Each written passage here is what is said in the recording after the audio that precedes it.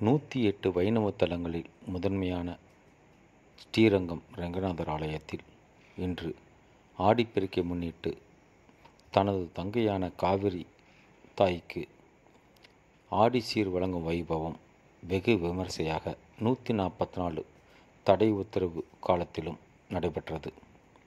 வரலாற்று சிறப்புமிக்க இந்த ஆடிசீர் வழங்கும் வைபவம் கடந்த ஆண்டுகளில் பல்லாயிரக்கணக்கான மக் பக்தர்கள் மத்தியில் ரங்கநாதர் ஆலயத்தில் மூலஸ்தானத்திலிருந்து புறப்பட்டு ஸ்ரீ ரெங்கவிலாச மண்டபத்தில் நம்பெருமாள் எழுந்தருள்வார்.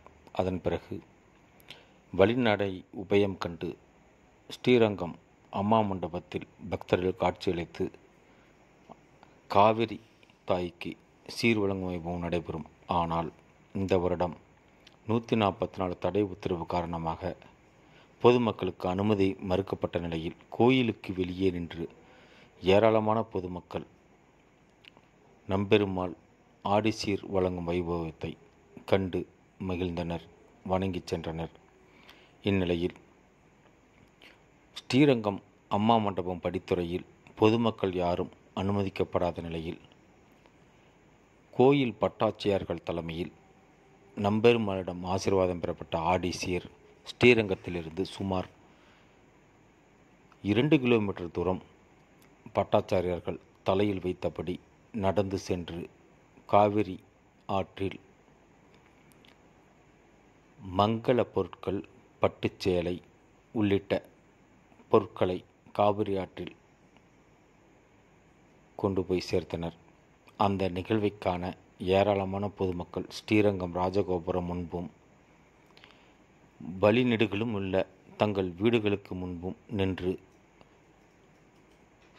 ஸ்ரீரங்கம் நம்பெருமாள் ஆடிசீர் தனது தங்கைக்கு வழங்கும் வைபவத்தை காண்டு மகிழ்ந்தனர். வழிநெடுகளும் ஏராளமான பொதுமக்கள் நின்று தரிசனம் செய்தனர். ஆனால் நம்பெருமாள் காவிரி ஆற்றில் வந்து ஸ்ரீரங்கம் மண்டபத்தில் எழுந்தருளி காவிரி தாய்க்கு ஆண்டாள் யானை மீது இந்த பட்டு வஸ்திரங்கள் உள்ளிட்ட மங்களப் பொருட்களை வழங்குவது வழக்கம். ஆனால் இந்த ஆண்டு நூற்றி நாற்பத்தி நாலு தடை உத்தரவு காரணமாக அந்த நிகழ்ச்சி தடைப்பட்டு நம்பெருமாள் ஆசியுடன் காவிரியை நோக்கி இதோ பட்டாச்சாரியர்கள் நடந்து வந்து கொண்டிருக்கிறார்கள்.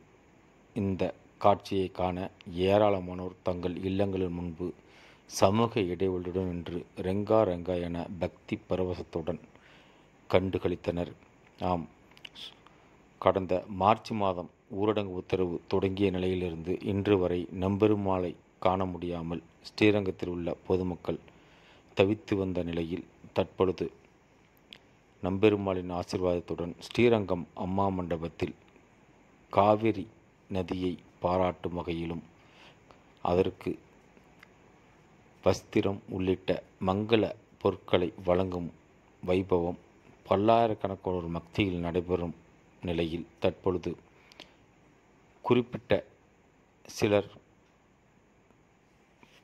பக்தர்கள் மட்டுமே காண முடிந்தது. குறிப்பாக பட்டாச்சாரியர்கள் வழிநடையாக கொண்டு வந்த அந்த மங்கள பொருட்களை காண ஏராளமானோர் இருந்த நிலையிலும் ஸ்ரீரங்க அம்மா மண்டபத்திற்குள் யாரையும் அனுமதிக்கப்படாத நிலையில் அந்த மங்கள பொருட்களை காவிரி ஆற்றில் வழங்கி காவிரி தாய்க்கு ஆடிப்பெருக்கென்று பாரம்பரிய நம்பெருமாளின் ஆசியை காவிரி தாய்க்கு வழங்கினர். அதேபோல காவிரி தாய் ஆடி பெருக்கெடுத்து தமிழகத்தின் பல்வேறு பகுதிகளிலும் குறிப்பாக டெல்டா மாவட்டங்களில் உள்ள அனைத்து நிலப்பரப்புகளையும் வளங்குளிக்க செய்து வருடந்தோறும் விவசாயிகளையும் பொதுமக்களையும் பாராட்டி காவிரி சீராட்டி வருகிறது. அதற்கான நன்றி கடனாக நம்பெருமாள் இப்பொழுது காவிரி சீர் வழங்கும் வைபவம் பட்டு புடவையை காவிரி தாய்க்கு வணங்கி மகிழ்கின்றனர். இந்த காட்சியை நாம் கண்டுகள்